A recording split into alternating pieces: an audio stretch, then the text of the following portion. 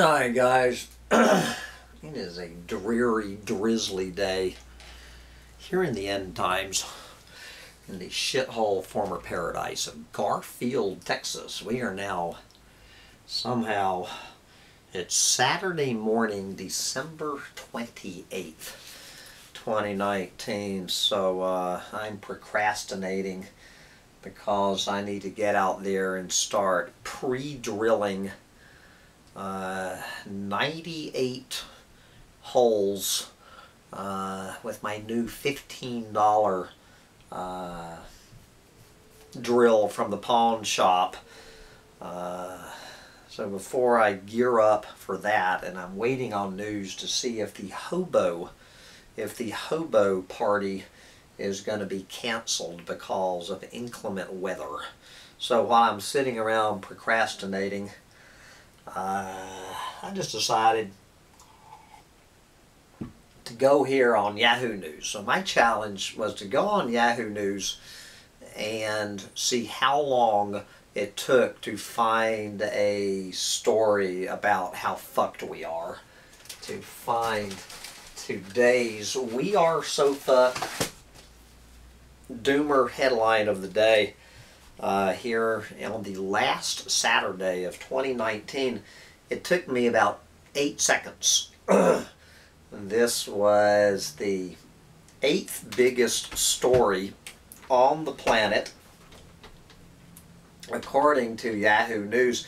And once again, this is uh, from Business Insider. I, I can I, I find more environmental news on Business Insider is getting close to Mongabay with uh, their, their environmental news. I don't know what deal Business Insider has cut with Yahoo News. There's obviously some sort of kickback, but Yahoo News consistently takes their environmental reporting from Business Insider. And Business Insider does a pretty good job.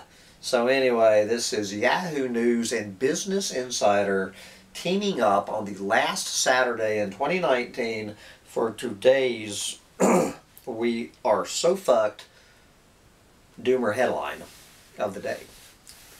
A giant blob of hot water more than twice the size of California threatens the survival of fish and coral near New Zealand. There you go.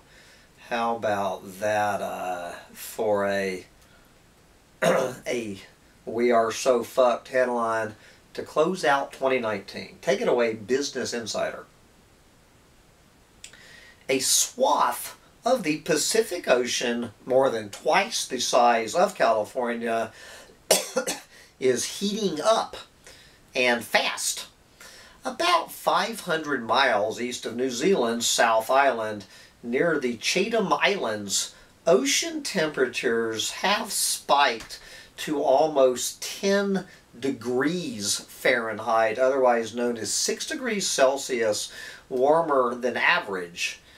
Normally, surface temperatures in that part of the Pacific hover around 59 degrees Fahrenheit or 15 degrees Celsius, but they are now 68 degrees Fahrenheit or 20 degrees Celsius, according to James Renwick, a scientist at Victoria University in New Zealand. Quote, it is the biggest patch of above average warming on the planet right now. yes. God.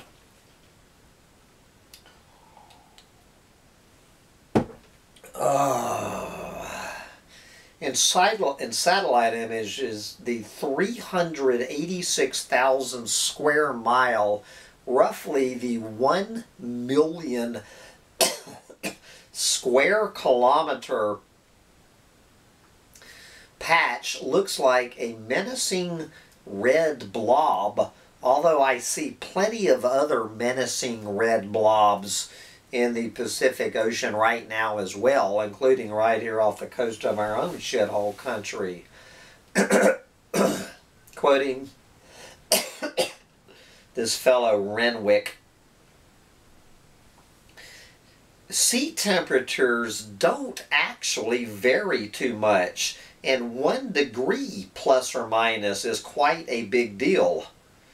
And then this I don't understand. And this area is probably 4 degrees Celsius or more than that above average. And that's pretty huge. He added, I don't have an explanation for it. There you go. Thank you, scientist. Since 1981, water temperatures off the New Zealand coast have increased between 0.18 and 0.36 degrees Fahrenheit, otherwise known as 0.1 to 0.2 degrees Celsius on average per decade. So it should be taking 10 years for these waters to heat up 0.1 to 0.2 degree. And we're looking at 10 degrees eh, in the last couple of months. But when sea surface temperatures spike precipitously, it is considered a marine heat wave. These typically occur when weather causes the ocean to absorb more heat than usual or if conditions prevent the ocean from releasing heat. In the case of New Zealand's current hotspot, Renwick said that the culprit could be an anti-cyclone that has settled above the region. You know, if, if the cyclones don't get you, the anti-cyclones will. And uh, guys, I'm just, this gets kind of technical uh, for a while through this article. Uh, New Zealand experienced a comparable marine heat wave two summers ago when the water spiked up to 6 degrees Fahrenheit. And now it has rocketed past that. Uh, climate change can make these marine heat waves worse because the ocean absorbs 93% of the extra heat greenhouse gases trap on Earth. So as global warming gets worse, heat waves on land and in the ocean grow more intense. This is Hillary Scannell, an oceanographer at the University of Washington, probably talking more about our own blob. Quote, in a warming world, these events are going to become worse and we are going to head toward a state where it is like a permanent marine heat wave. There you go. Uh, in 2014, a marine heat wave plagued the Pacific Ocean between Hawaii, Alaska, and California. It led to it led seal and seabird populations to die off, algae blooms to spread, and coral reefs to bleach. Scientists nicknamed that the blob. And now, uh, a similar heat wave uh, bloomed in the same waters uh, that blob, meaning the one from uh, earlier this year, bleached coral in the Hawaiian Islands and stranded sea lions and whales on the California coast. Ocean temperatures were nearly 6 degrees Fahrenheit or 3 degrees Celsius warmer than average, uh, you know, off our own coast earlier this year. So that one in New Zealand is way beyond uh, the blob here. Um, those blobs, much like New Zealand's current hotspot, spell disaster for marine life. Warmer temperatures prompt coral to expel its algal food sources and turn ghostly white. This bleaching, in turn, increases coral's risk of death and threatens the fish species a reef supports. Other underwater ecosystems are also put at risk as the waters warm. Higher sea temperatures make it difficult for bigger, more nutritious species of cold water zooplankton uh, to thrive.